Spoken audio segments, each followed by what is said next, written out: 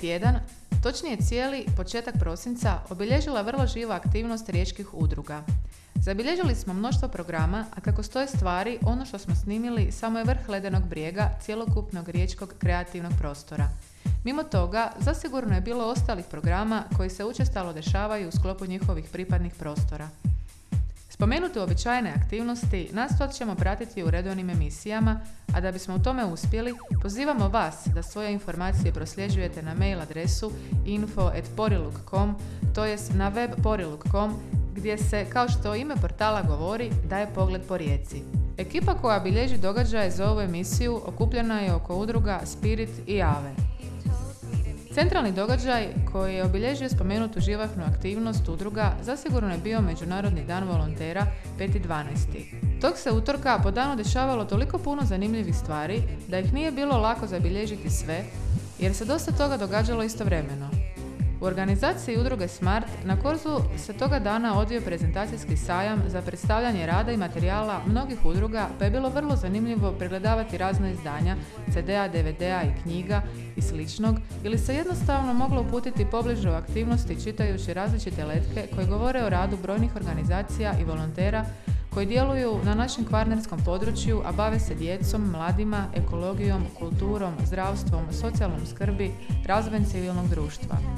Zaključak koji se sam nameće je taj da udružna scena ima što za ponuditi i reći, te da ovakav sajam nije dovoljan za prezentaciju svega, već postoji potreba za mjestom koje bi kontinuirano nudilo informacije građanima kako bi mogli sagledati što im sve udruge mogu ponuditi, a ima tu zaista vrijednih, korisnih i zanimljivih stvari. Ipak nameće se potreba i za fizičkim mjestom za informacije, a za sad dio informacija nudi volonterski centar pri Smartu. Kad si sretan dođi volontirati, Pet do pridruži nam se ti. Spusti se na naše kodu, strati nešto učini, ta dobrota će se tebi vratiti. Zabavno je, upoznali smo puno ljudi, ubijamo se od posla i radimo i jako je zabavno i pozivam građani nek se pridruže volonteri. Ono, to mi je baš jako zanimanje. Zabavno je bilo bi dobro da se još uključi ljudi u to, jer ono, kroz zabavu koristiš drugima. I to je to. Ja volontiram zato što stvarno nemam pametnih posla i zato što su me frendovi lako nagovorili. Radimo, dođite i vi probajte. Nitko ne može učiniti sve, ali svatko može učiniti nešto. 5.12. Riječko korzo. 5.12. Riječko korzo, dođite! Šuti male! Ajme, prekini! Korak dalje od udruga prezentiranih u kampanji imenom Nitko ne može učiniti sve, ali svatko može učiniti nešto, veselili su se mladi ljudi, volonteri udruge GONG koji su organizirali koncert sa desetak riječkih bendova te predstavljanjem novih DJ-a. DJ su polaznici kursa za DJ mix i obradu glazbe uz pomoć kompjutera koji se organizira u udruzi Spirit. Ovim DJ-ima ovo je ujedno bio i prvi javni nastup, pri čemu im je sigurno jako godilo što se to dešava upravo na Korzu na Velikoj Bini. Iako je polaznika na radionici više, nastupili su tek Marina, Dario i Pave, jer je u hrpi programa na Bini bilo premalo vremena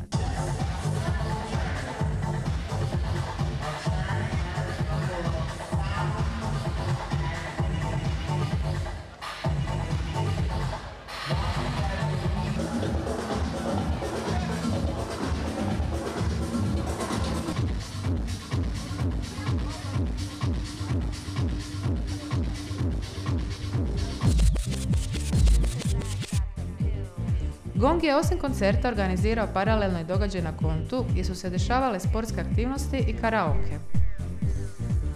Dan volontera bio je nezaobilazan događaj samim tim što se odvijao na Korzu pa ste ga morali primijetiti, no zanimljivih aktivnosti nije manjkalo ni ostalih dana.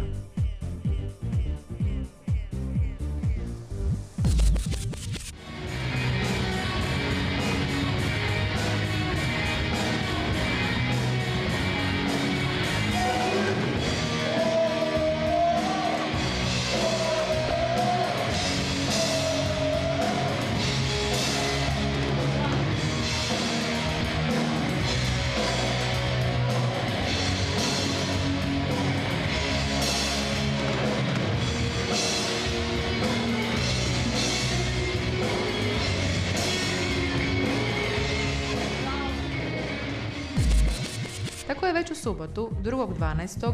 Smart okupio mnoge poznate osobe kulturnog, estradnog i sportskog života Rijeke, te ih odvelo u posjetu domu za nezbrinutu djecu u Selce.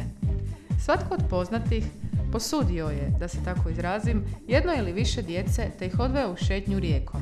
Iako je šetnja zasigurno bila jako zanimljiva djeci i njihovim velikim prijateljima, zaista je šteta što vam ne možemo točnije prenijeti nešto mnogo demljivije iz njihovog susreta, a što se tehnički nije tek tako moglo snimiti jer bi i potrajalo puno duže nego nam dozvoljava ovaj termin. Stoga razmišljamo da jednu ovakvu emisiju posvetimo upravo toj temi, da vas upoznamo kao što su se tog dana gosti akcije upoznali sa životom te djece koja žive u domovima, s njihovim uvjetima, njihovim životima i cijelom pričom koja stoji iza toga. Sigurni smo da ćete sa zanimanjem popratiti tu temu. Kao što su poznate ličnosti satima slušali o tome što se događa odmah do naših ubrzanih života. O Romea, publiko draga, Jesi spremna? Čuti. I vidjeti. Ovu napetu priču o jednom mladiću, i djevojci preljepoj, predivnoj i tako krasnoj? Jeste li, jeste.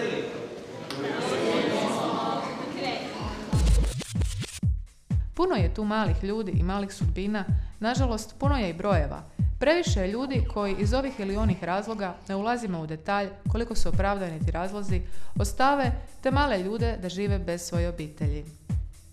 Srećom, postoje dobri ljudi, kao u domu Selce, koji se brinu za njih i pokušavaju im nadomjestiti obitelj koliko se to može.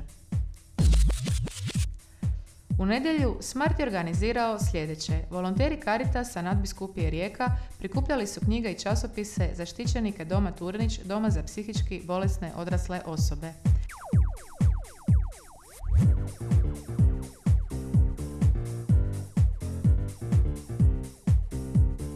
Sljedećeg dana volonteri su posjetili Dom Turnić i družili se sa starijim osobama.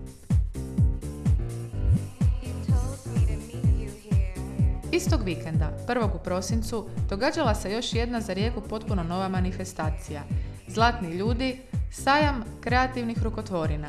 Centralno mjesto sajma bila je dvorana Transadrije gdje se moglo pogledati i kupiti mnoštvo kreativnih, dekorativnih, praktičnih stvarčica.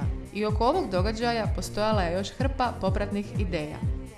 Na ulazu u štandovima prepunu Transadriju posjetitelji, kojih je bilo zaista puno, prelagali su po simboličnih 5 kuna, a od sakupljene sume, te uz znatno veću pomoć sponzora, kao i grada Rijeke, organizirati će se sadnja novog drvoreda na Krnjevu, na novoj cesti. Jer u našem gradu s previše asfalta svako stablo zaista zlata vrijedi. Akcija se, kao i sajam zlatni ljudi, ponavlja zbog velikog interesa, pa već 16.12. ne propustite svratiti, jer zlatni ljudi, kao što je na plakatu navedeno, sade, a ne kidaju jelke za novu godinu. Sukladno s tom idejom u sklopu sajma na Korzu, za 15 kuna prodavale su se sadnice jelki. Isto tako u sklopu Zlatnih ljudi održavane su na samom sajmu izložbe i projekcije prirodnih i ekomotiva, a u subotu na Korzu od 11 sati održan je mimohod djece koja u rukama drže sadnicu jele, te su s fotografom Draženom Šokčevićem pohodili putem Kalvarije do Kozale radi promocije jednog pomalo zaboravljenog urbanog detalja, starih kapelica na usponu Kalvarije. Kao što smo već rekli, zaista jako puno vrijednih događanja i detalja, te nam se čini da je tog prvog vikenda prosinca Rijeka bila očigledno vrlo poželjna destinacija za ljubitelje ovakvih humanih inicijativa. Tim prije što je zasigurno ostalo još puno malih, ne po vrijednosti, već po medijskoj eksponiranosti, aktivnosti koje nismo stigli zabilježiti u ovoj emisiji. Stoga još jednom pozivamo sve organizatore da javljaju svoje vijesti za portal www.poriluk.com preko kojeg će one stići i do naše emisije koju planiramo raditi često i koja ima za cilj davati informacije sudružne, nezavisne, kreativne i umjetničke scene u Rijeci i okolici.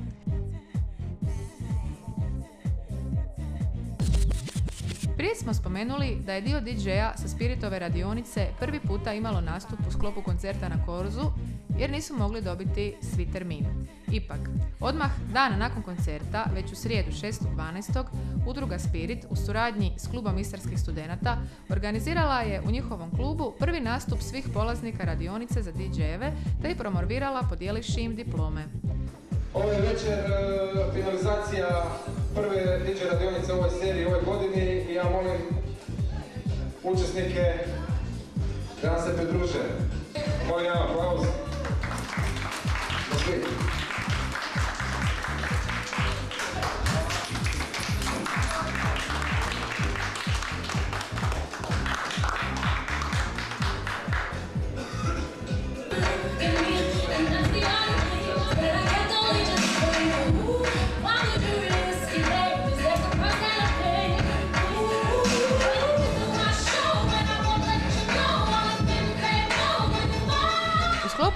Glazbene večeri, osim šest novih DJ-a, uključujući dvije DJ-ice, nastupio je i live projekt drum and bass glazbe Chaotic Minds.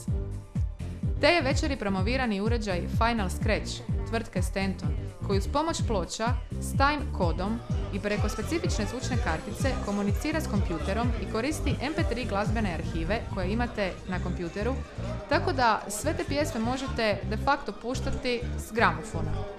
Uređaj Final Scratch je Spiritove radionici ustupila na korištenje tvrtka Audio Pro Artist, koji nudi obiman i pristupačan asortiman za glazbenike i DJ-e, te na ovaj način svojim korisnicima ujedno i pomaže, što je ovdje primjer dobre suradnje firme i udruge na obostranu korist.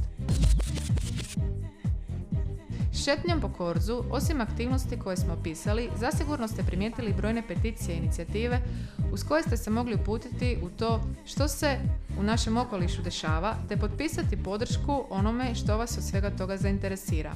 Sad ja mislim da je nekako 3000. Ovom peticijom utječem na očuvanje zelenih površina, prestanak betonizacije Škurinske drage, Sradočke šume i Crnogorične šume na Katarini, te zahtijevan uređenje parka s pratećim sadržajima na čitavoj delti. Ovu je izjavu potpisalo oko 4,5 tisuća ljudi ovih dana, kao i sljedeću. Ovom peticijom zahtijevamo da se spriječi uništenje povijesne baštine željezničkih skladišta na Žabici te da se iskoriste za nove kulturne i druge sadržaje. Od aktivista saznali smo i za peticiju koja ide na webu gopetition.com, a tiče se Spasa Istre, koja kaže U centru jedne od najplodnijih istarskih dolina, između zakonski zaštićenog krajolika i parka prirode Učka, gradi se najveća tvornica kamene vune na svijetu. Naši se ekolozi s time ne slažu, te smatraju da je ova namjera opasna i bespotrebna.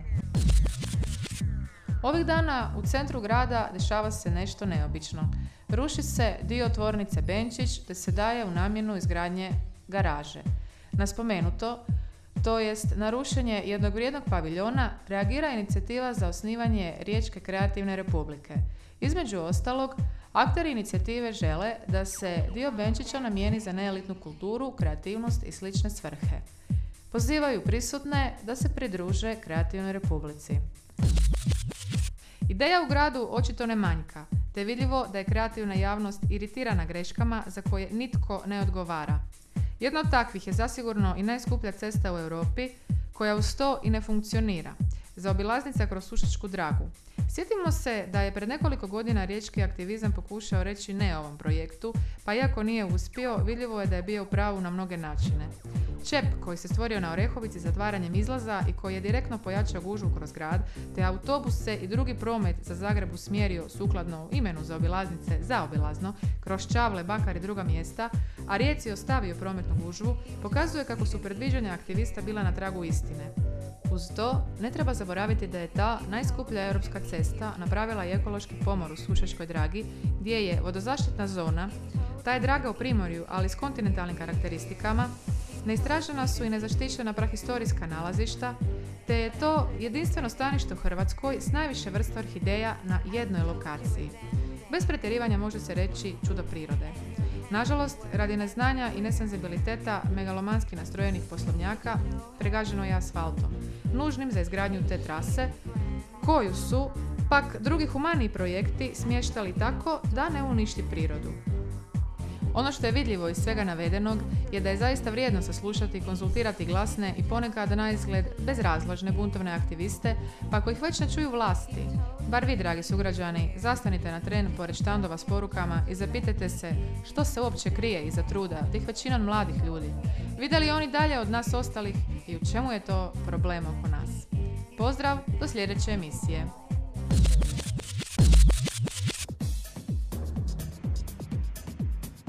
Jedini ideal koji mene nitko do sada nije uspio uništiti je taj da svaki pojedinac ima moć promijeniti bar mali dio svijeta. Jer kad bi svaki čovjek dao mali dio svog vremena za pomoć drugima, svijet bi izgledao drugačije i bolje, zbog osjećaja ispunjenosti i smisla.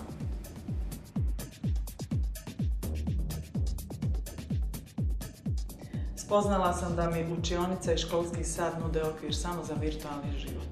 Pravi život iskusila sam volontirajući. Zato vas svi pozivam, bez obzira na uzrast, volontirajte. Bićete dio pravoga života. Kad si sretna dođi volontirati, 5 do 12 pridruži nam se ti. Spusti se na naše kodu, strati nešto učini, ta dobrota će se tebi vratiti. Zabavno je, upoznali smo puno ljudi, ubijamo se od posla i radimo i jako je zabavno i pozivam građane nek se pridruže volonterima. Ono, to mi je baš neko zanimanje. Zabavno je i bilo bi dobro da se još uključi ljudi u to jer ono, kroz zabavu koristiš drugima. I to je to. Ja volontiram zato što stvarno nemam pametnijeg posla i zato što su me frendovi lako nagovorili. Radimo, dođite i vi probajte. Nitko ne može učiniti sve, ali svatko može učiniti nešto. 5.12. Riječko korzo. 5.12. Riječko korzo dođite. Šuti male. Ajme prekini.